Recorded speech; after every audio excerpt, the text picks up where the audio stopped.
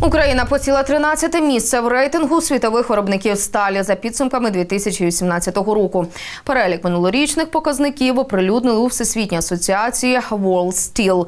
Тож українські підприємства дещо знизили свою продуктивність, якщо порівнювати з 2017-м. За підрахунками експертів, хіба що Китай, США, Південна Корея та Іран показували приріст. Лідером за підсумками минулого року продовжує лишатися Китай, чия продукція займає більше половини всього ринку. Дев'ять разів менше за китайців сталь виготовляють в Індії та Японії. Слідом за трійкою лідерів розташувалися Штати, Південна Корея, Росія, Німеччина, Туреччина, Бразилія та Іран.